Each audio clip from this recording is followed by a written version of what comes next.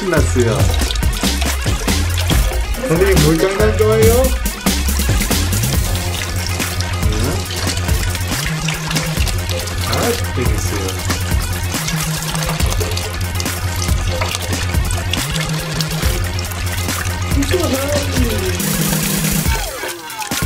Oh yeah, this is the ultimate happy birthday moment. 아이 신난다 아빠